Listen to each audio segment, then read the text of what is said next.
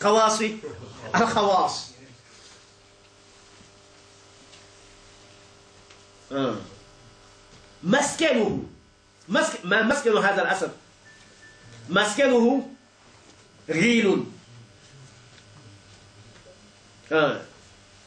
آه. مسكنه من بطن أثر غيل. دونه غيل مسكنه غيل. يعني مسكن هذا الأسد أين يسكن؟ ما مسكنه؟ الأسد الذي هو دون يعني دون آه، دون يعني الحيبة التي يشعر بها كعب ها؟ عندما يكلم النبي صلى الله عليه وسلم وعندما يقال بأنه منصوب ومسؤول هذه الحيبة أشد وأقوى من حيبة أسد. ما وصف هذا الأسد؟ هو ليس ليس كل أسد وإنما هو أسد خاص ومن خواص الخواص من ليوس الأسد. ما مسكنه؟ مسكنه غيل. ما هو الغيل؟ أجمة غابة. مسكن الأسد موضع الأسد غيل. دونه غيل يعني أجمة دونه أجمة. يعني هذا الأسد لا يدخل في في غابة. وفي هذه الغابة غابة أخرى. معنى ذلك أنه أسد متوحش جدا. لأنه بعيد عن الناس. بعيد عن الناس. لا يستأنس بالناس. لأنه لو كان أسدا يرى الناس أحيانا هذا لا يخشى منه كثيرا. أما الأسد الذي يعيش في غابة داخل غابة آه أشد هيبة. ولذلك الملوك دائما هكذا. آه. قصف داخل قصف. هجاب وراء هجاب وراء هجاب. أليس كذلك؟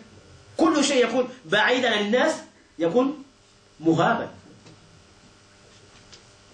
يكون مهابا. ولكن إنما ينظر كثيرا ويتعود عليه يبتذل. يبتذل.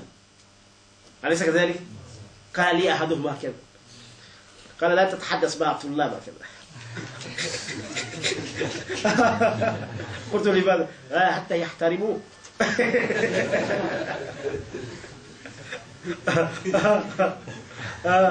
قلت النبي صلى الله عليه وسلم كان يتحدث مع صحابته وكان يزورهم. آه. متى تحترم من الطلاب؟ إنما تقدم لهم العلم الصحيح. العلم الصحيح. إلا أن يكون لئيما. وإلى كل إنسان إذا قدمت له خيرا لابد من أن يحترمك أليس كذلك؟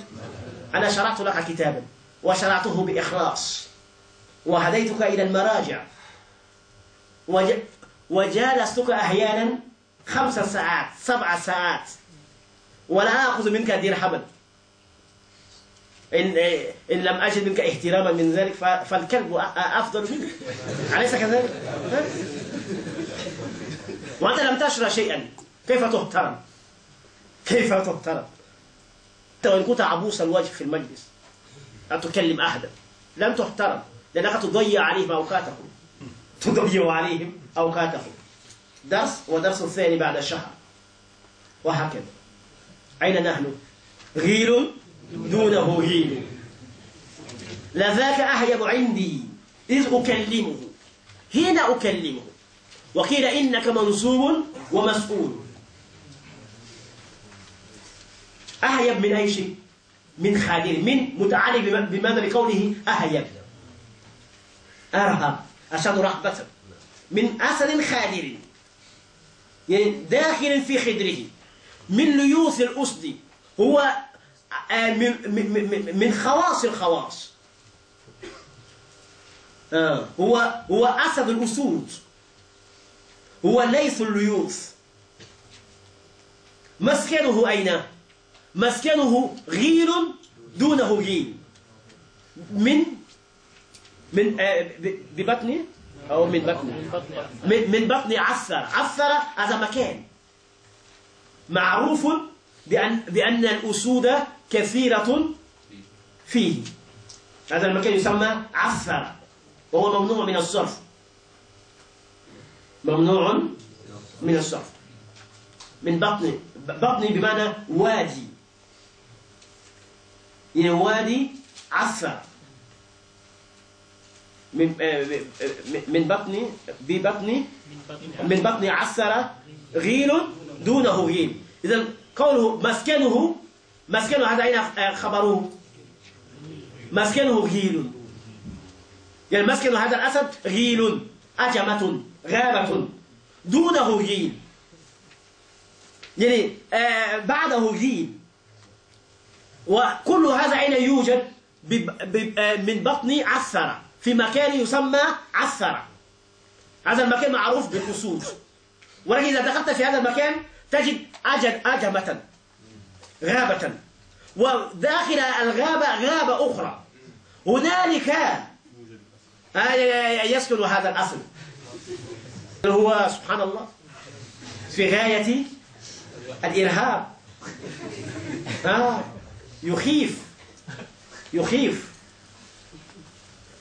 آه ثم ماذا؟ يا أيها الناس ركزوا معي. آه يغدو. يعني يغدو يخرج صباحا. يعني بعد صلاة الفجر آه من من صلاة الفجر إلى آه، إلى طلوع الشمس. هذا الوقت هذه الفترة تسمى غدوة. يعني يغدو يعني هذا الأسد يخرج صباحا. آه يخرج صباحا. متبخترا يميس يتبختر. في خيلاء في بطنه. لماذا؟ لأنه هو هو سيد الأجمة آه هو الشيخ المشايخ هنالك. يغدو يخرج صباحا. يغدو. فيلحم ذرغمين تقول لحمه يعني أعطاه لحما. الدرغام هو الأسد الكبير ولكن أطلقه على أسدين صغيرين باعتبار ما سيكون. يعني هذا الأسد يخرج صباحا فيلحم درغمين يعني يعطي أسدين لحما له ولدان. يخرج صباحا حتى يقتنص صيدا. حتى يصطاد صيدا. هذا الصيد يقدمه لولدين. هما درغمان. يطعمهما. ولكن متى يخرج يخرج صباحا؟ ولا يأتي ليلا. لأن في الليل سيقال بأن الأسد جاء ليلا. ولذلك يتمكن من الفريسة. ولكن هو يأتي في وضح النهار. في وضح النهار. النهار موجود وهو يخرج. لا يخيفه شيء. يغدو فيلحم وفي روايات فيلحم. هذا أيضا جائز. فيلحم أو فيلحم درغمين. يعني يعطي درغمين لحما. يطعمهما لحما. والدرغام الأسد. لماذا جاء بإثنين؟ ليقول بأن هذا الأسد يصيد كثيرا. لأنه لا يطعم درغما واحدا وإنما يطعم درغمين ولماذا لم يأتي بأكثر من ذلك؟ آه لأن هذا أقصى ما يلده الأسد. يغدو فيلهم الدرغمين أيوة؟ عيشهما يعني قوتهما. الدرغمان لهما قوت. يقتتان به. ما هذا القوت؟ يقول عيشهما. العيش هو ماذا؟ القوت. ولكن العيش هو في الحقيقة الحياة. تقول عاش عيشا. الحياة. ولكن بما أن القوت سبب آه، سبب للعيش إذا يطلق على العيش على القوت عيشا. ونحن نقول هنا عيش. أليس كذلك؟ نعم. عيشهما. يعني قوتهما. لحم. يعني قوت آه، الدرغمين لحم. من القوم من الرجال. القوم الرجال. يطلق القوم على النساء. آه. من الرجال. لحم من القوم من الرجال. من الناس. وسموا قوما لأنهم يقومون آه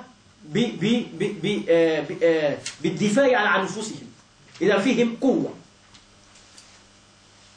لحم من القوم معفور أه؟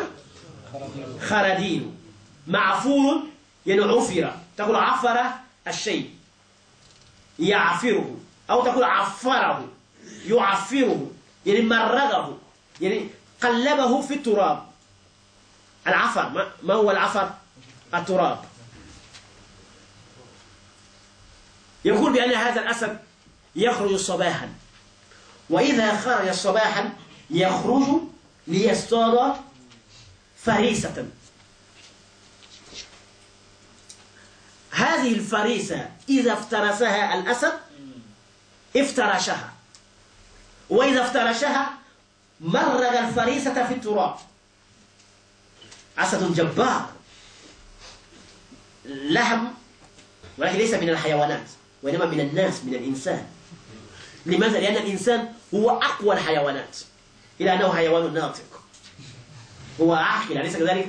أشد الدفاع عن نفسه من كل حيوان ولكن مع كون الإنسان ذكيا ذا عقل آه ذا هيلة مع ذلك فإن هذا الأسد لا يختار غيره. ولا ولا يأخذ فردا واحدا وإنما من القوم. جماعة. ثم بعد أن يتمكن من هذه الجماعة يعفر لحومهم في التراب. يمرغ هذه اللحوم في التراب. هذه اللحوم هي التي يأخذها إلى أين؟ إلى الدرغمين. يغدو وزن إلى الفعل المضارع. كيف يصور المشهد وكأن الآن نرى الأسد وقد خرج من عرينه من أجمة. ثم دخل في أجمة أخرى. ثم خرج إلى القوم. وهم جمع غفير. ومع ذلك استطاع أن يسطو عليهم. وأن يتمكن منهم. ثم يبتذل لهومهم في التراب. من القوم معفور لحم من القوم معفور هذا نعت للحم. يعني لحم معفور يعني ممرغ مقلب في التراب. خرادين يعني مقطع. تجي قطعة قطعة. لهما كده يربل يربل كده. آه. آه. يجعله كده. هذا واضح؟ كل هذا في ماذا؟ في وصف الأسد. الأسد هذا انظر إلى هيبة الأسد. هو والله لم يترك شيئا يستطيع أن يصف هيبة هذا الأسد إلا أتى به. الأسد في أجمة والأجمة في أجمة والأسد ليس إلى أنه ليس الليوث والأسد كذلك يخرج صباحا ويطعم درغمين. درغمين. ليس درغم درغما واحدا وإنما يطعم درغمين. واللحم المطعوم هو لحم من القوم. ليس من لحم آه، دجاجة. أها؟ لحم دجاجة يا مولانا. هذا حي يا مولانا. ها؟ حية فقط تستطيع أن تتمكن من دجاجة. ها؟ وإنما هذا الأسد من القوم. آه. أيوة ماذا قال بعد ذلك؟ إذا يساور. هذا الأسد إذا يساور. ساور يعني واثب. إذا يساور. إذا واثب. إذا واثب إذا آه، واثب قرنا يعني مقاوما يعني شيئا في آه، يكون قرينا له في شجاعته وفي بسالته. تقول فلان قرن فلان ما معنى قرنه؟ يعني يعني أنه مقاومه في ماذا في العلم وفي الشجاعة مثله الأقران. تجد هذا في علم مصطلح الحديث كلام الأقران آه، بعضهم في بعض. الأقران هو قرن له سيوط قرن لسخاوي آه الكسائي قرن للسيبوي آه ومن أيضا؟ وهكذا. كثيرون هكذا من أهل العلم. آه. آه. آه السعد وسيد آه. مع أنه شرح كتبه. وهكذا. تفهمون هذا؟ آه.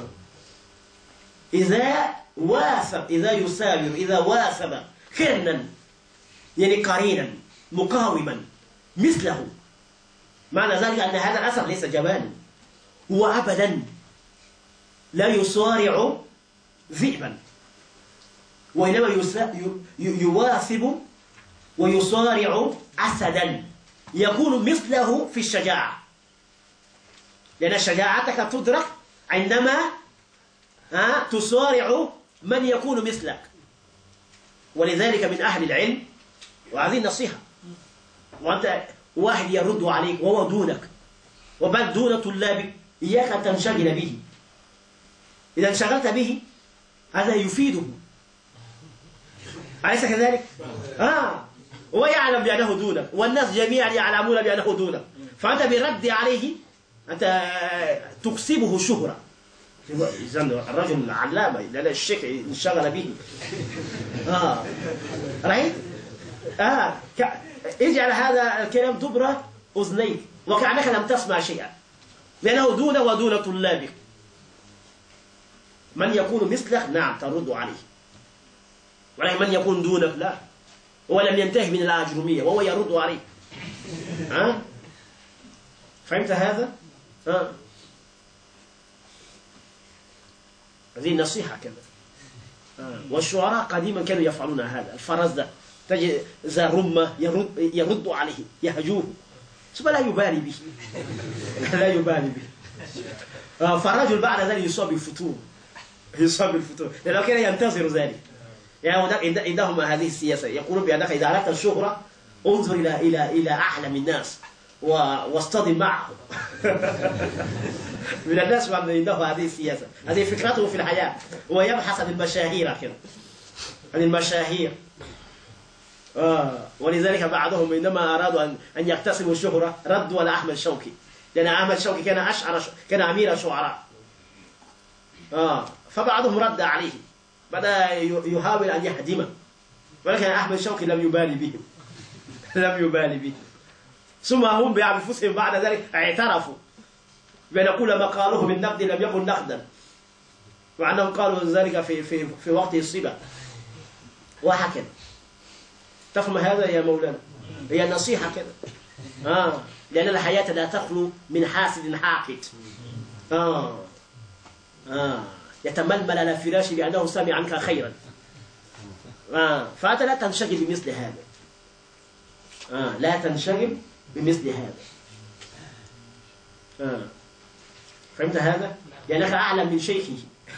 أعلم من شيخه. أسكت يا. طيب. وهكذا. ماذا قال؟ إذا يساور كرنا لا يحل له أن يترك الكرنة حتى في العصر الحديث. تجد هذا كثيرا. منهم من يرد على ابن حجر العسقلاني. أخطأه ابن آه، آه، ابن حجر العسقلاني في فتح الباري. وهو ليس محدثا. ولا منشغلا بالحديث. ولا منشغلا بالحديث. لا أقول بأنه محدث. ليس منشغلا بالحديث أصلا. آه. ولكن السمعة والصيت الآن تعطوا أليس كذلك؟ آه. يرد على من؟ على ابن حجر العسقلاني على أمير المؤمنين في علم الحديث. وأفضل كتاب بعد القرآن آه البخاري. وأفضل شرح على البخاري فتح الباري. إذا هو لم يجد كرنا إلى من؟ إلى ابن حجر العسقلاني فيحتسب الشهرة. قال سبحان الله رد على ابن حجر العسقلاني وتجد في ردود لا ت... كلام سبحان الله كله تافه لا يوجد فيه علم. أدنى علم لا يوجد. حتى وإن كان شيخ مشايخه. لا يوجد فيه علم. ولكن الأغرار من الطلاب يقولون فلان انتقد ابن حجر العسقلاني إذا لابد من أن نشتري هذا تحقيق هذا تحقيق ليس تحقيق يا مولانا. ليس تحقيق هذا تحقير. آه آه وهكذا وهكذا تفهمون هذا؟ آه. ولكن لماذا يفعلون هذا؟ يبحثون عن الكبار. دائما هم مع الكبار. مع الكبار سيوطي حاطب الليل. آه آه حجة الإسلام الغزالي. سبحان الله هذا غصة في حلوقهم غصة في حلوقهم ومع ذلك جميع خطبهم مأخوذة من الإحياء. جميع خطبهم هي مطبوعة. انظر فيها. إذا وجدت خطبة جميلة هي مأخوذة من من الإحياء. ومع ذلك آه يقول عنه بأنه لا يعرف الحديث. حتى منهم من يقول بأنه قرأ البخاري في آخر حياته؟ يقول هجة الإسلام وآخر حتى وإن كتب المؤرخون هذا الكلام أنا لا أصدقه أبدا. هذا كلام لا يصدق أبدا. حتى نحن الصغار قرأنا البخاري فما بالك بهجة الإسلام؟ إذا ما هي القراءة المقصودة هنا؟ إذا لابد من أن تكون قراءة أخرى غير المتبادلة إلى الأذهان. هذا هجة الإسلام يا شيخ. اتق الله في علماء الإسلام. أين نحن؟ إذا يساير قرنا لا يحل له. أن يترك القرن إلا وهو إلا هو مجدود. إذن هذا الأسد له شريعة. ما شريعة هذا الأسد؟ أنه عندما يقاوم يواثب يصارع قرنا لا يحل له أبدا لا يجوز. لا يجوز له أبدا. أن يترك هذا القرن إلا وهو مجدول يعني مرمي على الجدالة على الجدالة الأرض. يعني عندما يصارع قرنا يتركه صريعا مرميا ملقا على الأرض. لا يستطيع غيره أن يصارعه. إذا ما شريعته هذا الأسد؟ لا يحل له أن يترك قرنا إلا وهو مجدود تفهمون هذا؟ آه. أيوة. منه. تظل سباع الجو ضامزة. تقول ضمز يضمز بمعنى سكت يسكت. وقوله منه الضمير هنا يتعلق بضامزة. يعني تظل تظل سباع الجو ضامزة منه. يعني من هذا من من هذا الأسد سباع الجو الجو البرية. ال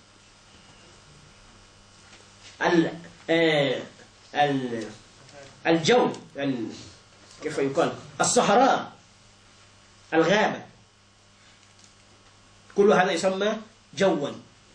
ويطلق جو أيضا على ما بين السماء والأرض إلى أنه ليس مقصودا هنا. يقصد هنا البرية. يعني يقول بأن الحيوانات الموجودة في البرية من السباع هذا جمع للسبع. والسبع يطلق, آه، آه، يطلق على الأسد وعلى غير الأسد. ولكن إذا قلت السبع بالإسكان هذا هو العدد. إنما هذا السبع بضم الباء. يعني السباع الموجودة في البراري في في الفيافي في الغابات. كل هذه السباع تظل ضامزة يعني ساكتة منه يعني من هذا الأسد. إذا يقدم منه. ومن هنا للتعليم. يعني لأجله. يعني الحيوانات الموجودة في الغابة كلها ساكتة. تراها منكمشة منزوية منطوية على نفسها. لا تحرك ساكنا. مخافة هذا الأسد. إذا هو شيخ المشايخ في غابته. لا يطاول ولا يطاق. منه تظل سباع الجو ضامزة. آه. ولا تمشي بواديه الأراجيل. آه. ولا تمشي. مشى يمشي. فعل يفعل. وبمعنى مشى يمشي أيضا. نفس المعنى. تقول مشى مشى زيد إلى البيت. تقول مشى زيد إلى البيت. تقول يمشي زيد إلى البيت. تقول يمشي زيد إلى البيت. نفس المعنى. ولا تمشي بواديه الأراجيل. الأراجيل جمع الأرجال. والأرجال جمع للرجل. والرجل اسمه جمع للراجل. والراجل هو الذي يمشي على رجليه. رأيت الكلمة؟ كيف مرت بأطوار. آه. الأراجيل جمع للأرجال. والأرجال جمع للرجل. والرجل اسم جمع للراجل. والراجل الذي يمشي على رجليه. يقول فيه أيضا رجال. تقول ذهبوا رجالا. ذهبنا إلى المعرض رجالا. ذهبنا إلى المعرض رجالا. آه؟ آه مشاة. على أقدامنا. آه. آه. ولا يقال ذهبنا إلى المعرض نساء. لا لا لا. هذا رجال هنا جمع لراجل يا مولانا. فهمت هذا؟ ليس لرجل. آه. جمع رجل رجال وجمع الراجل رجال أيضا. آه. إذن السياق هو الذي يحسم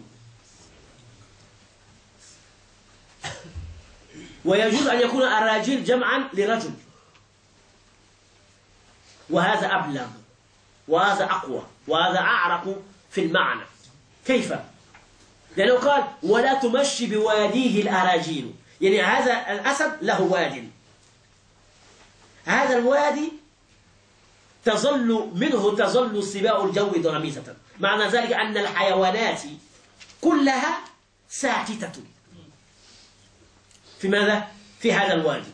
وكذلك أيضا الرجال. ولكن يقصد هنا الرجال جمعا لرجل أو أراجل. يكون جمعا لرجل أو يكون جمعا لراجل. أيهما أقوى؟ لأننا إذا كنا الأراجيل بأنه جمع لراجل والرجل الذي يمشي على رجليه معنى ذلك أنه في هذا الوادي لا يمشي فيه المشاة. إن الذين على أرجلهم لا يمشون في هذا الوادي. أما الذين على الخيول في فيمشون. إذا كنت على الخيل آه، تمشي. أما إذا كنت راجلا فلا. وهذا فيه ضعف. أليس كذلك؟ ولكن إذا كنا الرجال وقد سبق القوم هنالك معنى ذلك أن أن الرجال مشاة كانوا أو رجالا فإنهم يعني رجالة كانوا أو خيالا فإنهم لا يمرون بهذا الوادي. لا تجد أحدا يمر بهذا الوادي. هو واد محجور والسباع الموجودة في هذا الوادي ساكتة هادئة من هيبة هذا الأسد. أسد مخيف جدا. أرأيت هذا الأسد؟ ولكن سمعت أوصافه؟ أليس كذلك؟ آه. أيوة. ولا يزال بواديه أخو ثقة ولا يزال أخو ثقة أخو ثقة يعني الواثق بنفسه. يقول هو أخو سلاح يعني صاحب سلاح. أخو شيء يعني صاحبه. ولا يزال بواديه أخو ثقة ولا يزال صاحب ثقة يعني الشجاع الباسل. ها؟ الغشمشم. ها؟ الجحجاء. الذي يركب رأسه. الذي لا يبالي. المغوار الهمام. عندما يكون في هذا الوادي وهو واثق بنفسه أليس كذلك؟ ولا يزال أخو ثقة بواديه. يعني في وادي هذا الأسد لا يزال. مطره مطره ماذا؟ البز. البز السلاح. يعني سلاحه مطره. تقول طرح يطرحه يعني رماه يرميه. إذا أردت التخسير والمبالغة تقول طرحه إذا أكثر الطرح مطره هذا هذا نعت لكونه أخو. أخو ثقة. يعني ولا يزال أخو ثقة. مطره البز مطره البز يعني سلاحه مطره. مرمي ملقا يعني الرجل الشجاع إذا نظرت إلى هذا الوادي ستجد بأن سلاحه مرمي مطرح مطره البزي والدرسان. الدرسان الخلقان. الخلقان. الثياب البالية الممزقة. مطره البزي. يعني سلاحه مطره. والدرسان ثيابه الخلقان البالية الممزقة كلها مطرحة. كلها مطرحة. أين؟ بهذا الوادي. أيوة. مأكول. ولا يزال أخو ثقة. ولا يزال أخو ثقة. كائنا بواده مطرف البز. يعني سلاحه مطرح. والدرسان ثيابه الخلقان البالية مطرحة معقول. الرجل أيضا معقول. أكل. إذا أنت إذا إذا نزلت بهذا الوادي لا تجد إلا سلاحا مرميا لا يبالي به الأسد. ودرسانا يعني ثيابا بالية ممزكة لا يعبأ بها هذا الأسد أما لحمه وشحمه وعظمه آه، فإنها كلها وصلت إلى بطن هذا الأسد آه. تفهمون هذا جيدا؟ هذا في وصف أي شيء. رأيت الشاعر كيف يتنقل. وصف اعتذر. وبعد الاعتذار وصف هيبة المجلس. وبعد وصف هيبة المجلس وصف الحيبة التي كان يشعر بها وهو يكلمه صلى الله عليه وسلم. وأن هذه الهيبة فوق هيبة أسد. ثم بدأ في وصف هذا هذا الأسد. كما فعل هنالك عندما وصف ماء أسنانها بدأ يصف الخمر ثم انتقل إلى وصف الماء الذي مزجت به الخمر. جاء بأبيات في ذلك. هكذا ينبغي أن تكتب الشعر. وأنت لا تكاد تجد هذا في في شعر الناس اليوم. تجد الشعر كذا كله على نمط واحدة. نعم. لا تجد شيء تفننا أبدا في في في صياغة المعاني في في الأخذ بالمعاني. ولكن انظر إلى الشاعر يتنقل كيف يتنقل؟ ها؟ كالنحلة في الزهور كذا يمتص كيف يقال؟ آه، الرحيك الشهي ماذا يفعل؟ يمده بريقة آه، بريقة أسنانها. يصف هذا الماء. ثم يصف الخم التي مزجت به مزج به ما هو أسنانها. ثم هذا الخمر كسرت حدتها بأي شيء؟ بماء. ثم ينتقل إلى وصف هذا الماء. ثم يتقصى نسب ومنبع هذا الماء من أين جاء؟ وانظر هنا يتحدث عن هيبته في قلبه. ثم يأتي بتشبيه ضمني. لأنه لم يقل بأن النبي كالأسد لا. آه لذاك أهيب عندي. هذا تشبيه ضمني. يعني التشبيه ليس على صورة التشبيه المعروف يعني لم يأتي بمشبه ثم بأداة تشبيه ثم بمشبه به. ولكن نجد مشبه ومشبها ولكن على الصورة غير المعلوفة غير المعروفة لا يقول لا ذاك أهيب عندي من أي شيء؟ من خادر. ثم يبدأ الآن في وصف هذا الخادر مسكنه. كل ما سيذكره يخلعه على على هذا الأسد ها؟ يعني يضيف هيبة إلى هذا الأسد. ليقول مع كل هذه الهيبة فإن هذه الهيبة دون هيبته صلى الله عليه وسلم في قلبه. رأيت الهيبة؟ نعم. وكان مع ذلك يمازحهم. ويقول لتلك المرأة إن إن إنك لن إنك لا تدخل الجنة. آه لأن الجنة لا يدخلها عجوز. آه مع ذلك كان يبتسم وهكذا. آه هذا مفهوم؟ فهمتم المعاني هذه؟ هل هناك إشكال؟ ها آه؟ اسألوا. لأن هذا آخر درس إن شاء الله في بال السؤال. ثم نبين عنها. نبين عنها. مم. أيوة. إن الرسول يرجو إلى مدحه عيد. يرجع إلى مدحه. آه. إن الرسول لنور يستضاء به. مهند من سيوف الله مصلول يقال بأن كعبا أنشد البيت. إن الرسول لنور يستضاء به. مهند من سيوف الهند. فقال له النبي قل من سيوف الله. وشتان ما بين التركيبين. سيوف الهند تعدل وتجور. تنبو وتنفذ يعني تعدل. تكون هذه السيوف تكون عادلة. يعني قد تقطع في الحق. وتجور قد تقطع في الجور في الظلم. هذه السيوف تنبو. عن الضريبة. قد آه، تجرب السيف على آه، على شيء ثم ترى بأن لسيفي نبوة لكل صارم نبوة. هذا السيف قد ينفذ يعني قد يقطع الضريبة. ولكن انظر إلى السيف. ثم السيف هنا منسوب إلى الهند من سيوف الهند. إذن هذا ليس قويا. انظر إلى قوله من سيوف الله.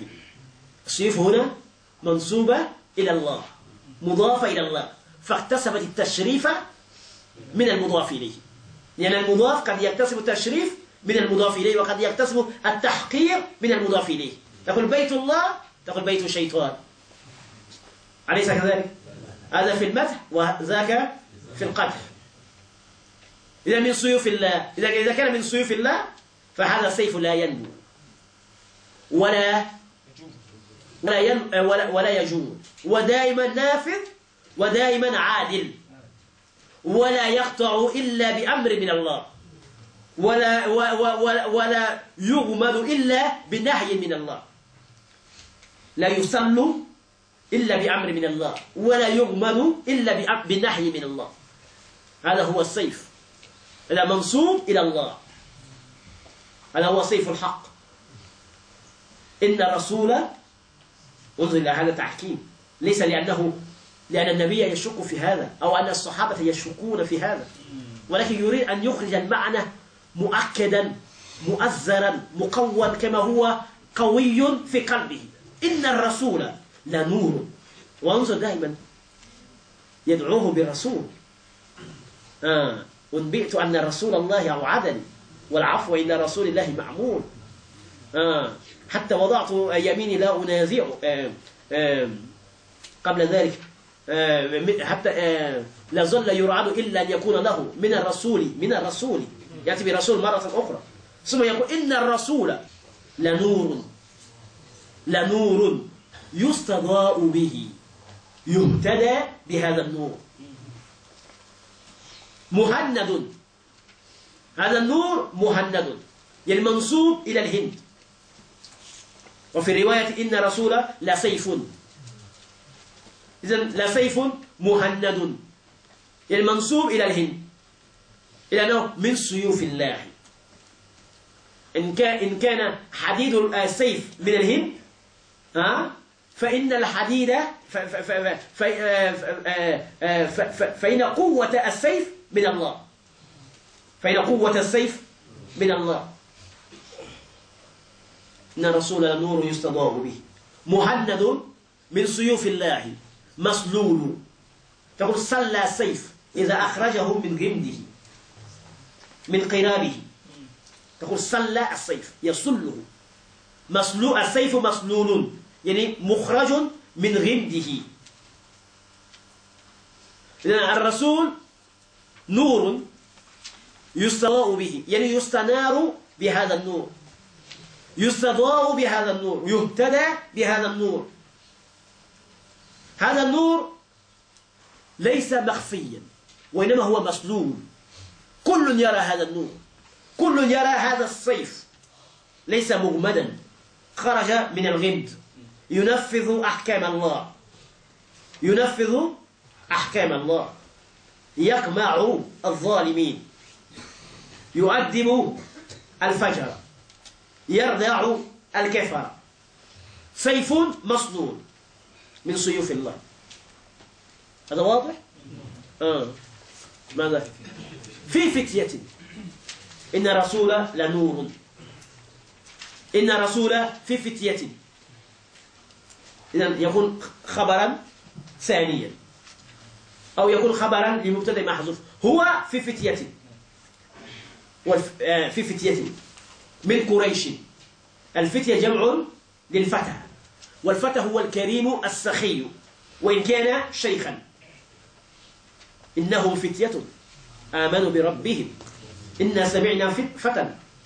دائما الفتيان هم, هم الذين يتصدرون. دائما الرسالات مصدرة آه آه آه يتصدرها الفتيان. في فتية.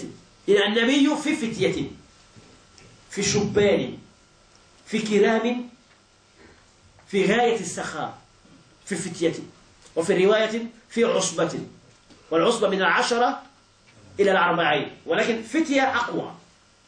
الفتوة فيها قوة. مرحلة بين ضعفين بين ضعف الصبا وضعف الشيخوخة هي مرحلة القوة. مرحلة القوة. في فتية. من قريش. هؤلاء الفتية من قريش. أفضل قبائل العرب. أعظم قبائل العرب. وهل هل المهاجرون كانوا جميعا من قريش؟ لا. ولكن غلب قريشا. لأن أكثرهم من قريش. في فتية من قريش. قال قائلهم. قال قائلهم. ببطن مكة لما أسلموا زول ببطن مكة يعني بوادي مكة. ببطحاء مكة. زوروا هاجروا. انتقلوا ارتحلوا اذهبوا. يعني النبي في فتية. هؤلاء الفتية من قريش. قال قائلهم قال قائل هؤلاء الفتية قال الذي كان لسانهم كان ترجمانا عنهم ماذا قال؟ زولوا يعني هاجروا. هاجروا مكة المكرمة إلى المدينة المنورة. متى قال ذلك؟ لما أسلموا. أين؟ ببطن مكة. يعني في وادي مكة. هذا واضح؟ المعنى واضح ها؟ إذا زالوا إنما قال قائل بذلك من هو القاعد؟ كلا حمزة وقيل عمر رضي الله عنهما وقيل النبي صلى الله عليه وسلم. زالوا هم انتقلوا هاجروا ارتحلوا ضعنوا إذا إنما انتقلوا عندما هاجروا كيف كانوا؟ عندما كانوا مهاجرين. زالوا فما زال أنكاس ولا كشف الأنكاس جمع للنكس. والنكس هو الرجل الضعيف المهين. الرجل الضعيف المهين يسمى نكسا. والنكس ما جمعه؟ أنكاس النكس جمعه أنكاس والنكس هو الرجل الضعيف المهين. إذا هؤلاء هؤلاء هاجروا زالوا. فما زال أنكاس. يعني فما زال فما, فما انتقل فما هاجر رجال ضعاف. يعني إنما هاجروا كيف؟ كانوا كانوا أقوياء لم يكونوا ضعافا. فما زال أنكاس ولا كشف كشف جمع للأخشف والأخشف هو الرجل الذي لا يحمل ترسا في الحرب. تعرفون الترس؟ آه. يعني الصفحة اللوه هذا الذي يتوقى به السيف. في الحرب كذا عندهم صفحة كذا لو هنا كذا. آه. تتوقى به آه السيوف. يجعل اللوه هكذا أمامه. حتى إذا جاء الرمح هنا كذا أو الشنع كذا آه، يضرب هذا اللوح هذا الحديد. آه، حتى لا يصيبه. هذا يسمى ترسا الذي يذهب إلى الحرب وليس معه ترس كيف يسمى؟ يسمى أخشف. ما جمعه؟ كشف. زالوا فما زال أخشف. آه، أنكاس ولا كشف. إنما هاجروا لم يهاجروا. ضعافا. إنما هاجروا أقوياء. لم يهاجروا بدون آه، ترس. وإنما هاجروا ومعهم أسلحة. آه. أيوة. آه، زال فما زال أنكاس ولا كشف. عند اللقاء. يعني عند اللقاء يعني عند الحرب. ولا ميل هذا جمع للأميل. ما هو الأميل؟ الذي لا يثبت على الفرس. لا يجيد ركوب الفرس. هذا يسمى أميل إذا امتطى الفرس للحرب تراه يسقط. هو لا يثبت أبدا. رجل ضعيف جدا. أو لا خبرة له بماذا؟ بالفراسة. بالفراسة. ليس الفراسة بالفراسة. أو نقول الفرو لا, لا يوجد الفروسية. آه. فإذا بالفرس يرميه آه. والأميل أيضا يطلق على الذي لا يحمل سيفا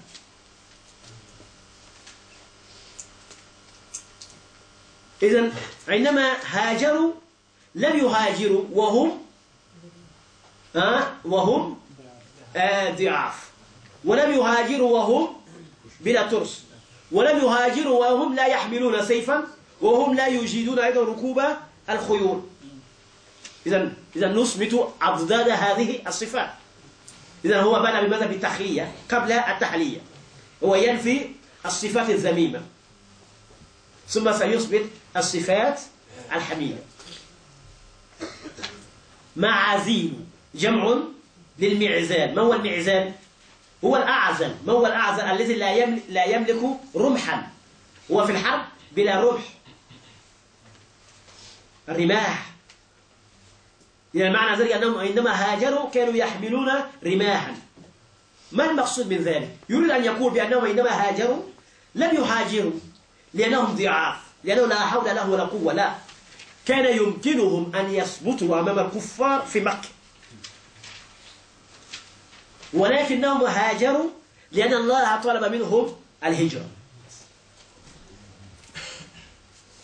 فهمت هذا؟ إذن أين النبي عليه الصلاة والسلام؟ عند هذه الأبيات؟ هو في آه، في المدينة في مسجده. وحوله الأنصار والمهاجرون. وصف النبي ووصف المهاجرين بهذه الأوصاف. حولهم بنو جلدته يصفهم بهذه الأوصاف. والنبي كان ينظر إلى صحابته معجبا بهم. معجبا بهم. ماذا قال كعب بعد ذلك؟ شم ها؟ ماذا؟ شم العرانين شم جمع للأشم. الأشم هو الرجل آه العظيم الأبي. وهو من الشمم. وهو ارتفاع قصبة الأنف ولكن الرجل العظيم الذي يكون ذا نخوة تروى كذا آه، يرفع قصبة أنفه فهو كناية عن ماذا؟ عن العلو عن الشرف عن العظمة عن الكرم. شم العرانين العرانين جمع للعرنين والعرنين الأنف. شم العرانين شم الأنوف. أنوفهم آه، فيها شمم فيها ارتفاع. وهم يقصدون بذلك هذا يكون كناية عن ماذا؟ عن, عن, عن الشرف وعن النخوة وعن العظمة. هم؟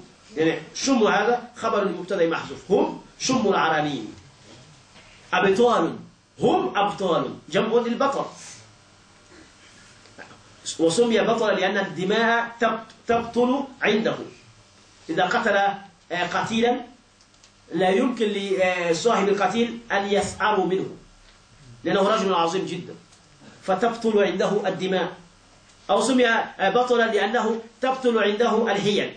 أنت لا تدري كيف تصل إليه. لا تعرف مقتلا أبطال هم أبطال. أيوة. لبوسهم. لبوسهم. يعني ما يلبسونه لبوسهم لباسهم. سرابيل هذا هو الخبر. سرابيل جمع للسربان والسربال هو الدرع. ما يلبس في الحرب. يسمى سربالا. ويجمع على سرابيل لبوسهم يعني ما يلبسونه دروع. دروع. يعني السرابيل دروع. من نسج داود ها؟ أليس كذلك؟ من نسج داود يعني من منسوج داود. أنا أقدم وأخر على حسب التفسير. تفهمون هذا؟ آه لا أقول بأن تقرأ الأبيات كذلك. وأنتم الحمد لله. ما شاء الله. آه آه. من نسج داود. يعني من منسوج داود. هذا مصدر بمعنى اسم مفعول. من منسوج داود. يعني لبوسهم لأن داود عليه الصلاة والسلام هو الذي ألهم نسج الحديد آه. فنسجهم. ما يلبسونه في الحرب؟ هو هو منسوج من منسوجات داود. لأنهم أصحاب النبي. إذا المنسوجات التي يلبسونها من منسوجات نبي آخر. آه. رأيت إذا هم أقوياء. الأوصاف التي نفاها هنالك يثبت نقائضها الآن. يثبت أضدادها. من نسل داود. في الهيجاء في الحرب لبوسهم في الهيجاء أه؟ سرابيل من نسل داود. حال كونه حال كونها من نسل داود. هذا واضح؟ آه. معنى ذلك أنهم أقوياء جدا. أقوياء آه وأبطال. إذا قد يقول قائل إذا كان يصفهم بالشجاعة وبالبسالة. لماذا يصفهم؟ بأنهم يحملون آه، دروعا. لماذا يحملون السلاح إذا كانوا شجعان تقول ليس من الشجاعة أن يترك الشجاع السلاح. ترك السلاح من الشجاع؟ هذا خرق. تعرفون خرق خمق. آه. الشجاعة فضيلة بين رزيلتين الجبن وتهور. آه، فضيلة بين رزيلتي الجبن وتهور. تعرف الجبن؟ الخوف. التهور أن تلقي بنو... أن تلقي بيدك إلى تحلق. يخرج للحرب دون سلاح. هذا متحور الشجاعة أن تقدم حيث ترى الإقدام عزما. وأن تهجم حيث ترى الإهجام حسما أن تقدم حيث ترى الإقدام عزما. ترى الإقدام عزيمة.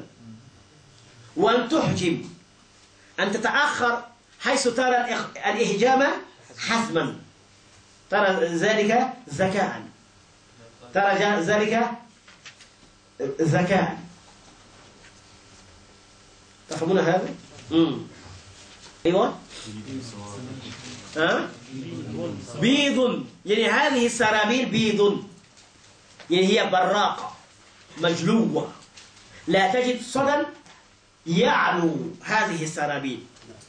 الدروع التي تلبس في الحرب إن كانت تلبس كثيرا فإنها فإنها لا تجد عليها صدى. صدأ.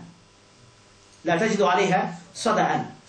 ولكن إذا هجرت وتركت طويلا فإنها تصدع. يعني ترى صدأ يعلوها إذا عندما يقول بيض هذا نعت للسرابيل معنى ذلك أن هذه السرابيل بيض. هذا جمع للأبيض. هذه السرابيل بيض. إذا كانت بيضا إذا معنى ذلك أنها تلبس كثيرا. معنى ذلك أنهم دائما يخوضون الحروب. دائما من حرب لأخرى من وغل إلى آخر. بيض سوابغ جمع سابغة يعني طويلة. يعني هذه السرابيل طويلة تامة. تستر الجسد كله. بيض سوابغ قد شكت. أدخل أدخلت حلقة في حلقة. تعرفون الحلقة؟ الحلقة جمعها هلق أو حلق.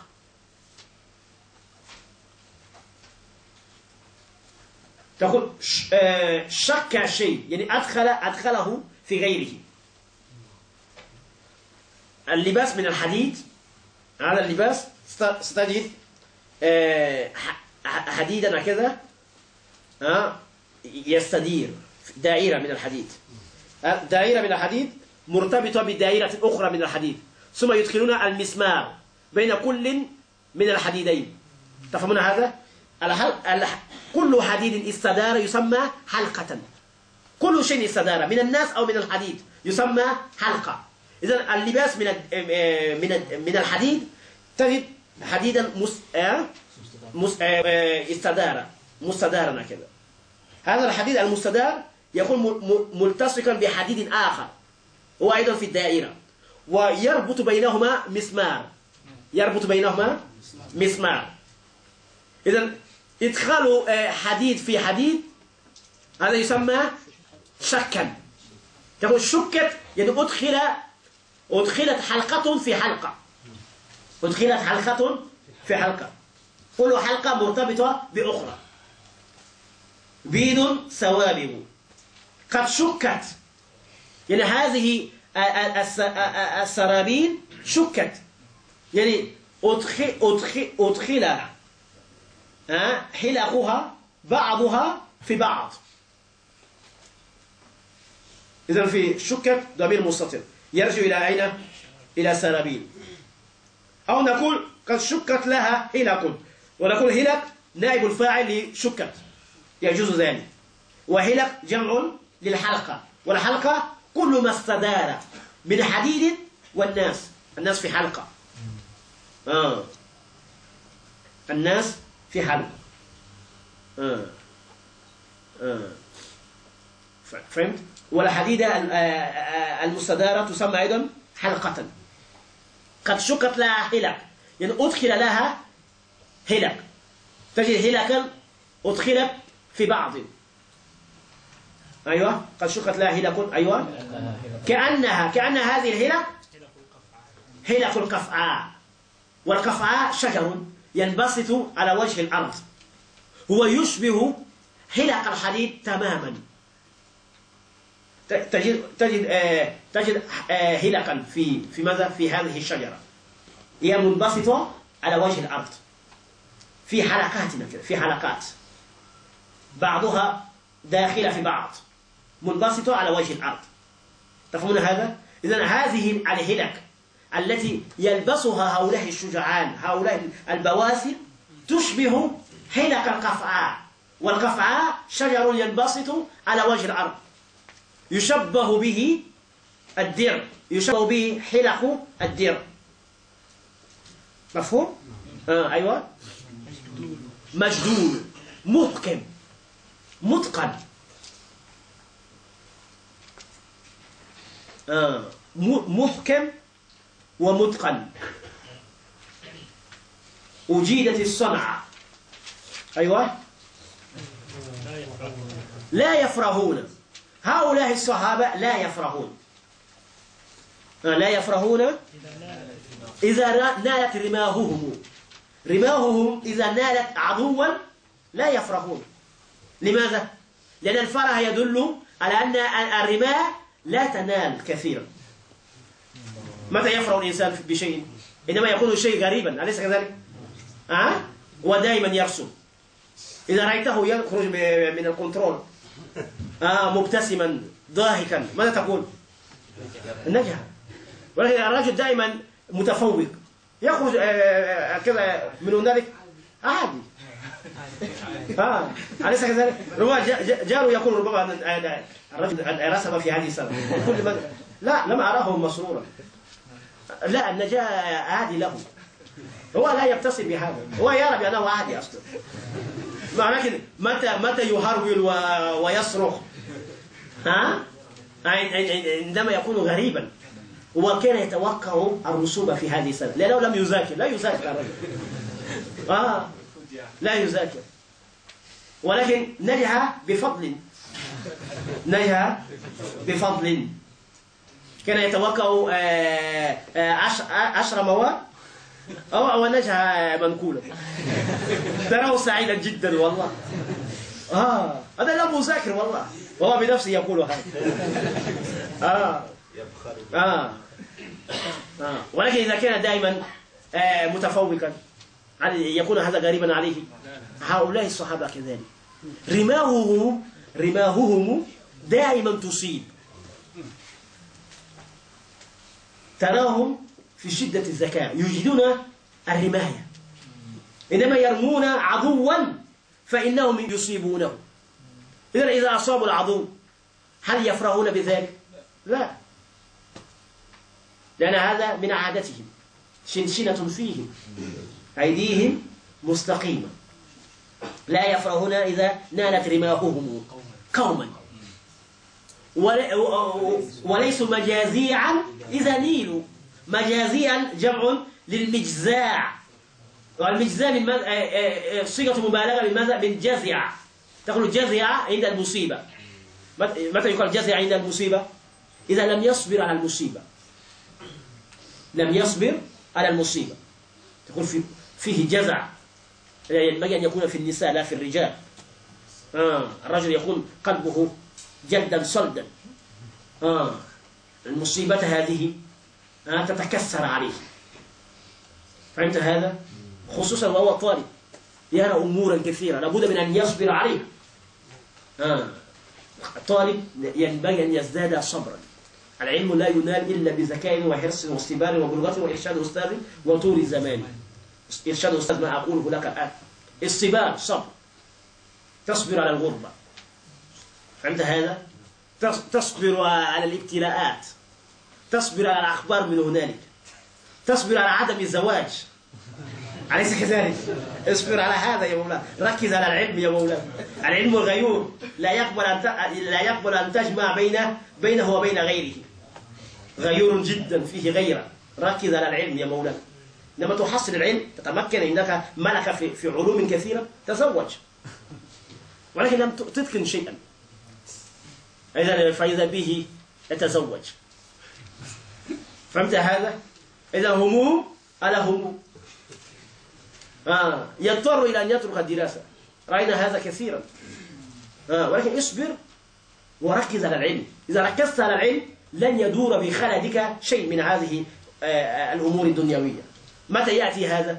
متى تأتي الوساوس؟ في الفراغ الفراغ مفسدة ولكن الطالب دائما يذاكر دائما معك مس- مسألة هي مشغلة لك هل ستفكر في الدنيا؟ ولا تفكر في هذه الأمور أنت جرب نفسك في أوقات الامتحانات هل تفكر في الدنيا؟ لا لقد تركيز بداية الامتحانات إلى آخر الامتحانات آه. ومتى تأتي هذه الوساوس؟ بعد الامتحانات هو الآن في راحة الآن لا يذاكر يا مولانا فهمت هذا؟ آه اصبروا على كده آه ركزوا على العلم أتقنوا أتقن علومنا كده على الأقل أتقن آه خمسة من العلوم تتقنها تستطيع أن تقرأ آه متونها وشروحها وهواشيها وبعد ذلك لك آه أن تنفتح على الدنيا فهمت هذا؟ ولكن قبل أن تتقن شيئا لا اصبر على كده فهمت؟ آه. يضحكون كده. يقول فلان ماذا يقول وفقنا له جميعا؟ ولا وليسوا مجازيا إذا نيلوا. يعني هؤلاء الصحابة إذا أصيبوا ها؟ ليسوا مجازيا. يعني إذا أصابتهم الرماء لا ترى فيهم جزعا. لا ترى فيهم جزعا. هناك كتاب يسمى العلماء العزاب الذين آثروا العلم على الزواج. كتاب رائع جدا رائع جدا. ينبغي للطالب أن يشتري هذا الكتاب وأن يقرأه على مكث تفهمون هذا؟ آه. نصيحة غالية صح حقا. أنا قيل لي أن ألقي كلمة يوما كذا. بين إخواني كذا. فقلت بأن بأنني آه، رأيت بأن بأن الطالب كلما أتى بزوجته رسم. يعني في تلك السنة ستجده راسبا. وإن كان مت- متفوقا تجده متخلفا. قلت الزوجة تأتي لتكون عونا لنا على الدراسة. لا لتهول بيننا وبين الدراسة. فهمت هذا؟ إذا ب- بدأت آه، كيف آه، كيف الخلافات. منهم من يقول بأن النسوة هن السبب ومنهم من يقول الرجال هم السبب. رايت؟ آه اصبر على كذا إذا جاءت الزوجة تكون عونا لك. آه ولذلك ينبغي أن وأنت تتزوج تتزوج آه، من تكون على دينك. تكون حافظة لكتاب الله متدينة صالحة قانتة. ذرية طيبة. أليس كذلك؟ آه. الطيبون. آه. لطيبات أليس كذلك؟ وفقنا الله جميعا. وليسوا مجازيا إذا نيلوا. إذا هم إذا نالت رماههم آه لا يفرحون. وإذا نيلوا لا يجزعون. آه لا تجد فيهم جزعا ولا هولا. يصبرون. يعلمون بأن الحرب سجال. دولة. دولة بين الفريقين. يوم لنا ويوم علينا. يوم نصر ويوم نساء. أيوة. يمشون. هؤلاء الصحابة يمشون. مشي آه، مشي الجمال. جمع للجمل. يمشون كالجمل. يمشون مشيا يشبه مشي الجمال. الزهري جمع للأزهر والأزهر الأبيض. الجمال البيض يمشون مشيها. معنى ذلك أنهم يمشون في وقار وسكينة وهدوء.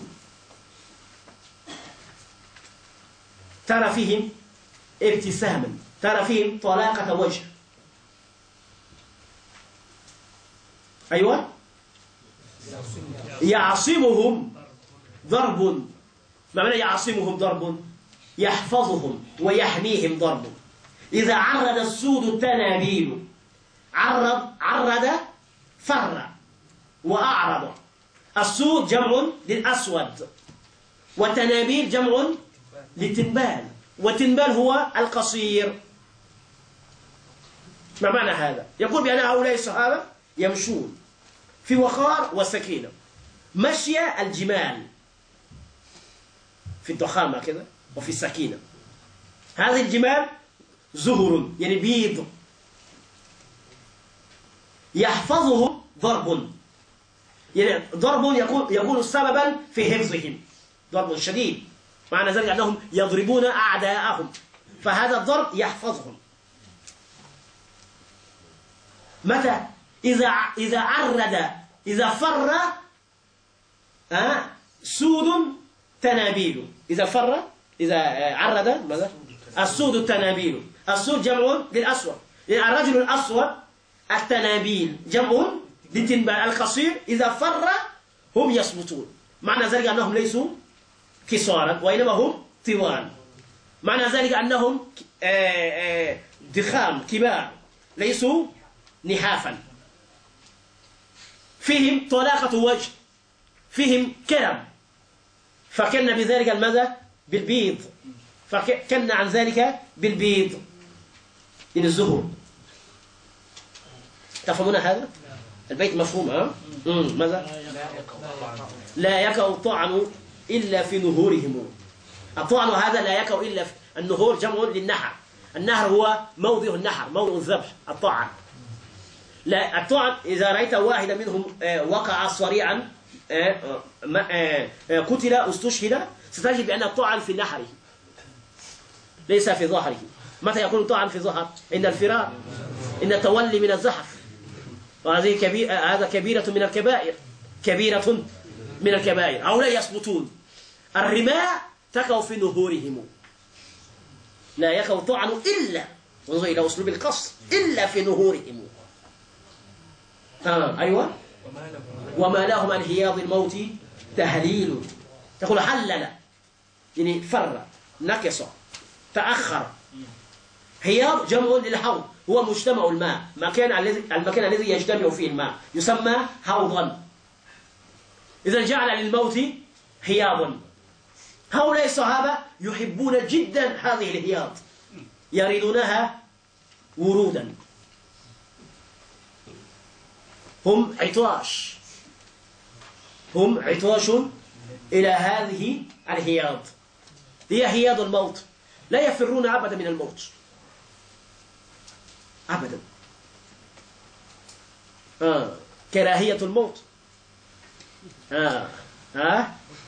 آه. حب الدنيا وكراهية الموت نعم نحن في بسبب ذلك نحن الله اليوم أو لا لا يحبون الموت حبا والله الموت عندهم حلوى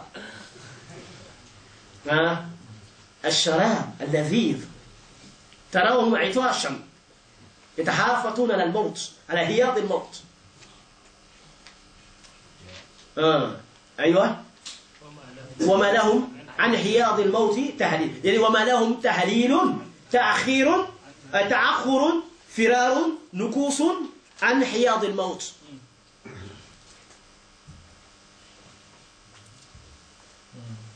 المعنى مفهوم ها؟ نعم. بهذا نكون قد قد انتهينا من بين السعاد نسأل الله أن يجعل هذا الشر في ميزان حسنات والدينا ومشايخنا وأن يفتح علينا جميعا فتوح العارفين. إنه على كل شيء قدير وبالإجابة جدير. وقبل أن نطوي القصيدة نلقي ضوءا خافتا.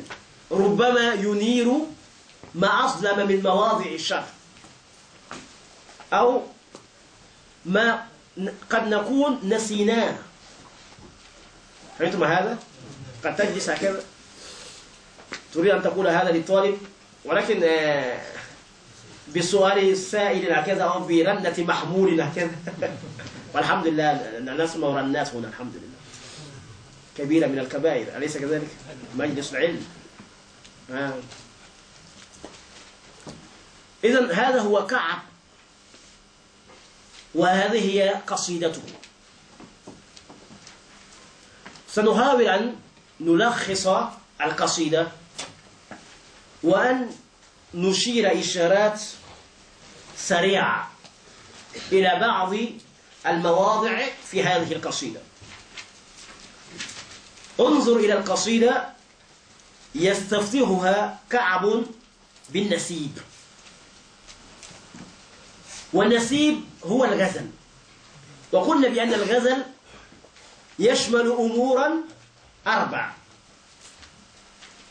حديث عن المحب وحديث عن المحبوب وحديث عما يجري بينهما من وصل وقطع وسلوى وشقوى ووفاء وإخلاف. وحديث عن الوشاة عن الوشاة والرقباء والعزال. الغزل إذا جاء كاملا مستوفي الأركان نجده يجر وراءه هذه الأمور الأربع. وسنجد بأن كعبا جمع هذه الأمور في هذه القصيدة. حدثنا عن المحب والمحب هنا هو كعب. ولكن حديثه عن المحب جاء في بيت واحد وهو قوله بان السعاد فقلبي اليوم مكبول متيم إثرها لم يفدى مقبول. هذا البيت كان حديثا كان شرحا لحالة كعب. فهو في هذا البيت يقول بأن سعادة بانت فارقت. فبدأ القصيدة بهذه الجملة. ورتب عليها ما انعكس عليه ما ترتب على الفراق. إذا قلبه مقبول. ومقبول مسقم مريض وصف هذا القلب صار عبدا مستعبدا. لم يجد فداء ينقذه من هذا العصر. هذا القلب ليس أسيرا فحسب بل إنه وضعت عليه القبور. وضعت عليه القبور. إذا ويختار كلمة القلب فيحسن اختيار اللفظ لأن القلب سمي قلبا لأنه يتقلب. قلوب العباد بين أصبعين من أصابع الرحمن. يقلبها كيف يشاء. إذا عندما يختار كلمة قلب يكون الاختيار اختيارا حسنا. لماذا؟ لأنه قال فقلبي اليوم. اليوم هذا الظرف. ظرف لماذا؟ لمقبول. ولكن لماذا قدم اليوم؟ ليكون بأن قلبه صار مقبولا في هذا اليوم فقط. ليس قبل هذا اليوم. إذا القلب هذا تقلب. كان يصبر. لماذا؟ لأنه كان آه، آه، كان يعزي نفسه بأنه سينال شيئا من سعاد ما دامت قاطنة آه، مقيمة. ولكنها الآن شدت الرحال وضعنت. إذا القلب صار متبولا مسخما مريضا. إذا هو يحسن اختيار الألفاظ. اختار كلمة القلب لم يأتي بكلمة الفؤاد ولا بكلمة العقل. هذا مفهوم؟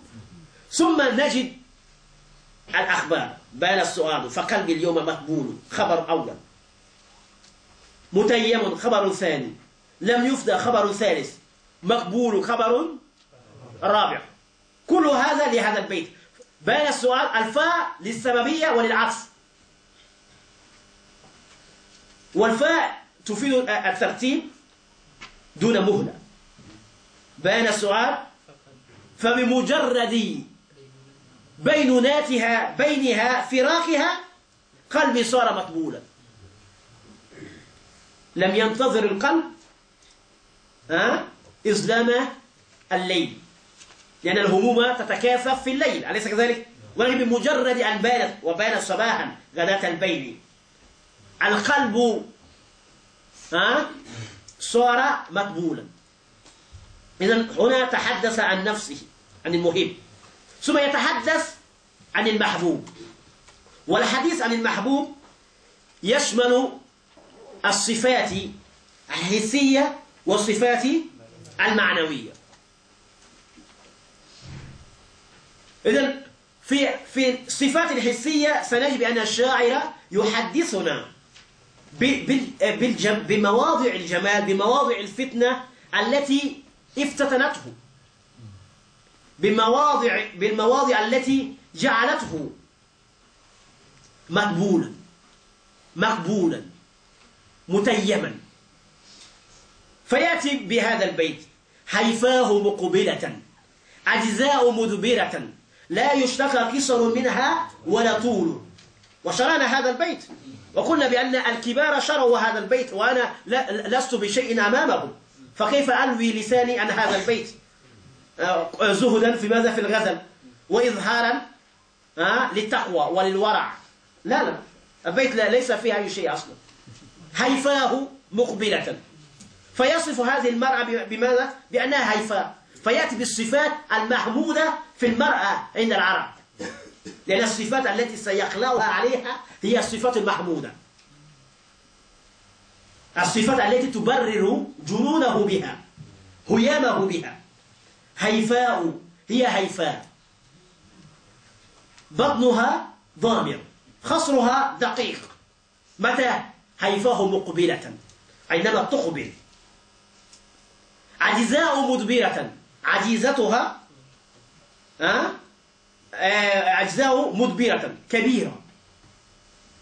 عجيزتها كبيرة متى؟ عندما تدبر. ولكن هل هاتان الصفتان؟ آه، تفارقانها في غير الإقبال والإدبار؟ لا. ولكن يريد أن يقول بأن هذه الصفات تظهر أظهر آه، بقوة عند الإقبال وعند الإدبار. فوصفها مقبلة ووصفها مدبرة. لا يشتكى قصر منها ولا طول. فيصف الآن الطول. لا يشتكى. يعني الناظر إليها زوجها لا يشتكي قصرا فيها. لا يقول بأنها قصيرة جدا. ولا طول. لا يشكو منها أيضا طولا بأنها طويلة جدا. هي بين بين. وخير الأمور أوساطها. هي الربعة إذا وصفها طولا ووصفها عرضا. وصفها من فرع شعرها إلى أخمص قدميها. ثم بعد هذا ماذا يقول؟ وما سعاد غداة البين إذ رحلوا إلا أغنوا غضيض الطرف مقهور. سعاد هذه عندما فارقت. يعني في الصبيحة البين. ليست إلا ظبيا. هذا ظب أغن هذا ظب غضيض الطرف مقهول إذا عندما فارق السؤال غداة البين لم تفارق امرأة وإنما فارق ظبي وما سؤال غداة البين؟ إذ رحلوا. التشبيه هنا تشبيه بليغ. حذف أداة التشبيه وحذف وجه الشبه. أين وجه الشبه؟ قلنا بأن وجه الشبه هنا النفور. وليس الغنة. وليس غض البصر. وليس الكهل ولا الكهل. وفرقنا بين الكهل والكهل. وقلنا بأن الكهل هذا يكون خلقة. سواد يعلو منابت شعر الأجفان خلقة. أما الكهل هذا يكون عن تصنع. هذا يكون تصنعا. آه. تستخدم المرأة الإسمت في ماذا؟ في تسويد الأجفان. ولذلك يقال ليس تكهل كالكحل آه، ليس التكهل في العينين كالكحل إذا قلنا بأنه شبه سعادة بأي شيء؟ بالظن في أي شيء؟ أين وجه الشبه؟ هل نقول بأن وجه الشبه هو غض البصر آه، آه، الغنة؟ هو صوت لذيذ يخرج من الخيشوم. معنى ذلك أن صوت هذه المرأة صوت جميل جدا. وهذا الصوت يزيده فتنة. وغضيض البصر. في في أجفانها فتور وكسور خلقة. كأنها لا تنظر وهي تنظر. تجد فتورا كذا وهم يستحسنون هذا في المرأة. مقهول تجد آه، كحلا في ماذا؟ في العينين. سوادا في العينين. وهذا يزيد الأشفال جمالا. على جمال. أين وجه الشبه؟ النفوس. لماذا لم يقل بأن وجه الشبه أه؟ هو الغنة هو غض البصر هو آه لماذا لم نقل بذلك؟ لأنه قال وما سواد غداة البين يعني غداة البين يعني في الصبيحة البين إلا أغن يعني إلا ظبي إذا إذا قلنا بأن وجه الشبه هو الغنة إذا معنى ذلك أن السواد بها غنة وبها غض البصر وبها كحل أو كهل غداة البين إذا هناك كيد. أما في غير هذا الوقت فلا غنة ولا غض بصر ولا ولا كهل ولا كهل إذا هذا فيه ضعف. هذا فيه ضعف. إذا أين وجه الشبه النفور. ما هو النفور؟ الشروط. ما هو الشروط؟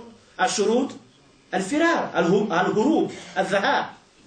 إذا من أين أتينا بوجه الشبه أتينا من وجه الشبه لأن الظبي يوصف بالنفور ظبي مجرد أن يراه أه؟ تراه نافرا شاردا هاربا والثانية أنه قال غداة البين فغداة البين هذا القيد يشير إلى وجه الشبه لأن البين يدل على ماذا؟ على الفرار على الفراق إذا وجه الشبه هو ماذا؟ النفور إذا إذا كان وجه الشبه هو النفور لماذا ذكر الشاعر الغنة وغض البصر والكحل؟ ذكر هذه الصفات ليكون بأن هذه الصفات هي التي تنظي قلبه. هي التي تحرق قلبه. هي التي تمزق قلبه. الغنة وماذا؟ وغض البصر. وماذا؟ والكحل. هذا مفهوم؟ آه. إذن بعد ذلك ماذا قال؟ تجلو عوارض ذي ظلم. بعد أن وصفها كاملة بدأ الآن يركز على عضو من أعضائها على موضع من مواضع جسمها. ما هو؟ الرأس. وأعظم ما في رأس الفم. إن الحبيب. فيقول تجلو عوارض ذي ظلم. يعني تجلو يعني تظهر عوارض ذي ظلم. وقلنا ذي ظلم بمعنى صاحب ظلم. يعني أصله عوارض ثغر ذي ظلم. والثغر هو الفم. يطلق على الفم ويطلق على الأسنان. إذا انظر إلى تفسير عوارض جمع للعارض والعارض يطلق على الأسنان كلها ويطلق ذلك على الضواحك على الأسنان التي تظهر عند الضحك. إذا إذا قلنا العوارض معناها الأسنان إذا نقول عوارض ثغر ذي ظلم إذا نفسر الثغر بماذا؟ بالفم. لا نفسر الثغر بالأسنان. يعني عوارض يعني أسنان فم. إذا فسرنا آه، آه، العوارض بماذا؟ بالظواهر إذا لنا أن نفسر الثغر بماذا؟ بالأسنان. إذا عوارض يعني ضواحك أسنان. يعني على على ضواحك بعض من ماذا؟ من الثغر عوارض ذي ظلم. والظلم هو ماذا؟ ماء الأسنان. ماء الأسنان وبريقها ويطلق أيضا على رقة الأسنان وعلى بياضها. إذا في معنى ذلك أن أن إنما يصفها بأن يصف أسنانها بأنها بيض ويصف أسنانها بأنها بأن بها ماء هذا يدل على نظافتها على عنايتها بنفسها إنما يصف أسنانها بالرقة بالدقة وبماذا؟ وبالبياض هذا الدليل على ماذا؟ على صغر سنها صغيرة أسنانها لما تتشكل إذا هناك ماء على هذه الأسنان هذا الماء كيف هو؟ هو مزج بالخمر مزج بالخمر مرة لا مرتين. مرة بعد أخرى. أنهل وعل. والعلل هو الشرب الثاني. والنهل هو الشرب الأول. والأصل في ذلك أنهم كانوا يأتون بالإبل. لتشرب الإبل. فإذا وردت الإبل آه، المورد يبعدون الإبل. ثم يأتون بإبل أخرى. لتشرب. ثم الإبل التي شربت أولا يأتون بها مرة ثانية. فالمرة الأولى تسمى نهلا والثانية تسمى علنا إذا هذا معلول يعني أشرب مرة ثانية. إذا قال الإمام الحريري بأنه يقال معلول إذا أشرب ثانيا ولا يقال معلول إذا كان مريضا. وأن المحدثين عندما يقولون حديث معلول هذا خطأ في اللغة. خطأ. كان عليه أن يقول حديث معلل أو حديث معلل. أعله يعني أمرضه. فهو معل أو علله جعله مريضا. أما عله يعله يعني آه، آه، أشربه مرة ثانية هذا يقال فيه معلول. أما المرض هذا يقال فيه معل آه. قال بأن قول المحدثين حديث معلول خطأ. ولكن قالوا رد على الحريري فقيل بأن معلول جائز ولكنه قليل. يأتي معلول بمعنى مريض إلى أنه قليل. إلى أنه قليل. وممن قال بذلك قطرب. ومنهم الجوهري في صحاحه الصحاح للجوهري. قال عنه السيوطي بأنه بمثابة صحيح البخاري عند اللغويين. قاموس كبير يسمى الصحاح. ليس المعجم الوسيط والصحاح